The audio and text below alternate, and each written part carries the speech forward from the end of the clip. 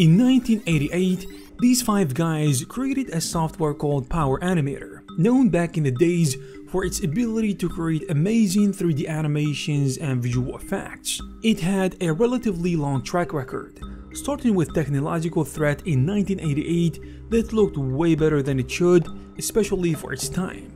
Power Animator was also used to create the water creature in the 1989 film The Abyss, as well as the T-1000 character in Terminator 2 Judgment Day, at a cost of almost half a million dollars per minute. It was also used heavily for many visual effects of the 1996 film Independence Day, just to name a few.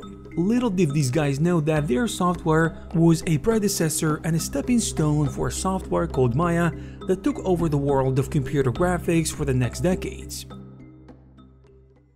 We have seen many software come and go over the years, the likes of Softimage and Lightwave. So what makes Maya a continuous dominant force in the 3D industries and why still people choose to learn it and use it? Before we answer these questions, let me tell you about today's video sponsor Class Creatives, who have given us access to their top ranked game design curriculum online. This will help you learn from experts in the field who also have experience teaching at accredited universities. All courses are taught by seasoned professionals who have worked for companies like Disney Animation, Naughty Dog, Insomniac Games, Sony, Google, and more. Even for beginners, the courses are incredibly simple to follow at your own pace because they are all divided into small segments. However, they all work together to make a thorough entire course. In their masterclass courses, the full character creation workflow is covered from start to finish including detailed anatomy best practices. You will discover how to expand on solid, basic character sculpting methods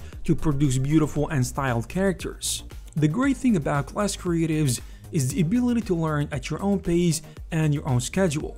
So get started today with the link in the description and use our unique code to receive a special 25% discount off the pro subscription.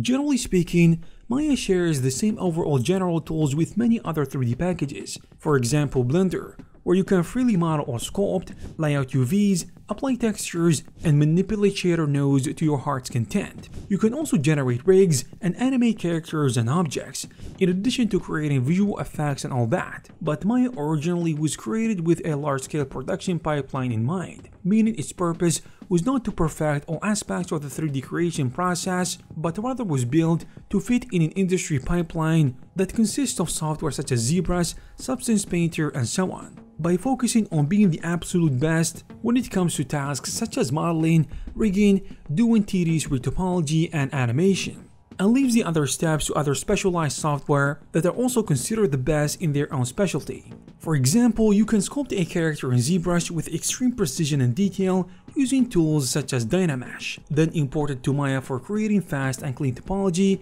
then take it to Substance Painter where you can bake high poly maps or low poly models if it is gonna be intended for games. After that, you will start painting and applying materials using high quality textures. Then later you can bring everything back to Maya to create some animations and renders. Simply said, Maya has better collaborative project management, not to mention its perfect interoperability with other industry standard tools and formats. Generally speaking, Maya was not meant for creating casual and small 3D projects in the first place, meaning it is not meant for those who take 3D as a hobby only, because it is for those who want to take their 3D passion into the professional level and use the right tools as a gateway into the industry, whether it be video game development, VFX, or animation.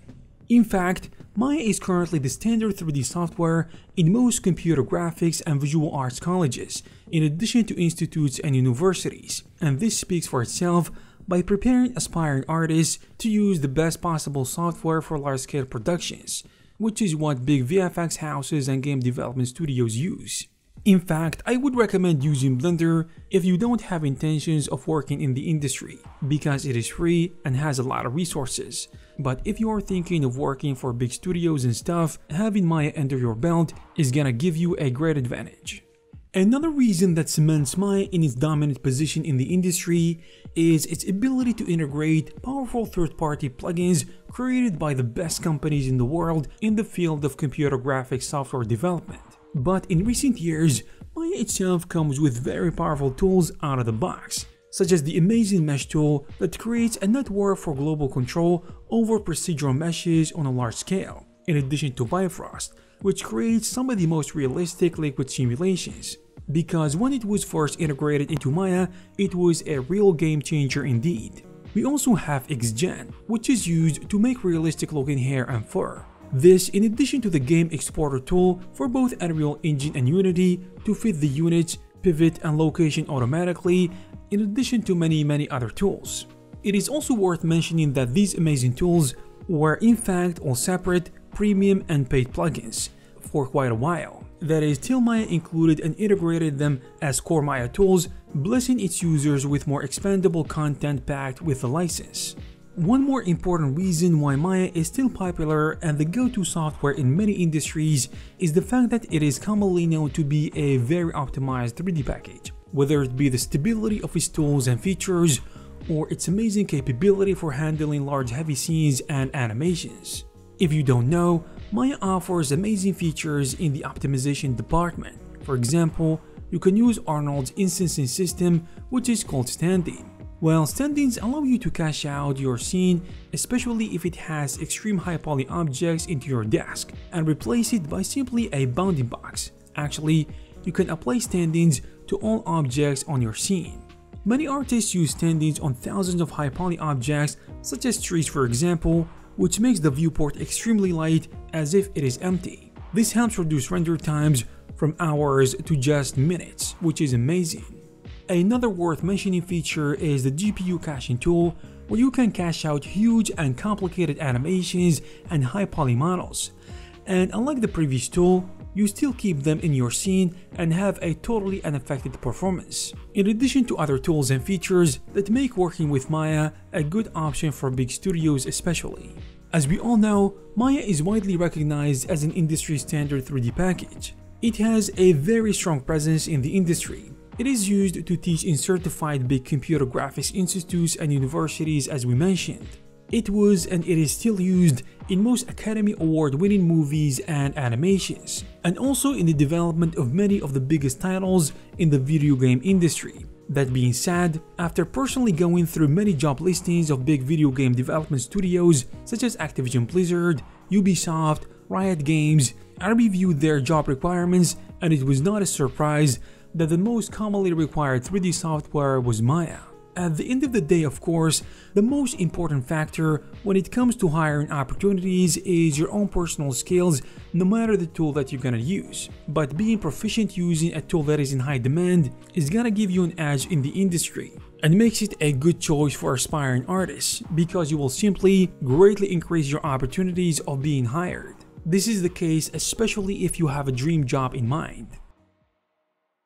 Also, one of the most important reasons why Maya is not gonna go away anytime soon is the fact that it is considered to be the leading 3D software in the industry when it comes to animation because it has the best and the most creative tools that enable animators to create highly complex animations that look seamless and realistic. As you might know, Maya was used to create visual effects in several Oscar-winning and nominated movies, including The Lord of the Rings The Two Towers, Spider-Man, and Star Wars Episode 2 Attack of the Clones, and many other blockbuster movies and animations.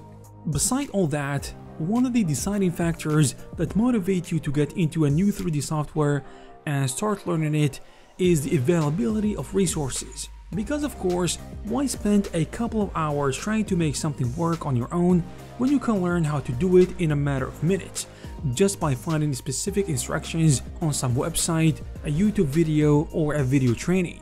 When it comes to Maya, resources are not a problem to worry about because it has been around for two decades and it grew to be a mature software where thousands of studios and companies have already explored its advanced features in addition to the tools it provides. Artists have already encountered errors and bugs and found workarounds and solutions, and most of which have gotten updates and fixes by Autodesk themselves. But the main point is, whatever thing you want to learn in Maya, even if it is an in-depth and complicated operation, some artists have definitely faced these issues years ago. and have already provided solutions and information to help guide and support you throughout the learning process.